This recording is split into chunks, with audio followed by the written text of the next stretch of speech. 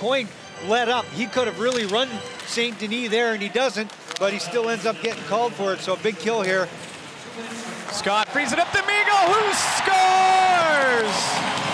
Short-handed goal from Jerry D'Amigo, and it is 1-0 Toronto. The forecheck by Greg Scott. He strips the puck from the Hamilton player, chips it by another one, and a great little backhand feed. And Jerry D'Amigo between the wickets of the goaltender Desjardins and a short-handed tally gives the Toronto Marlies the first lead of the hockey game, 1-0.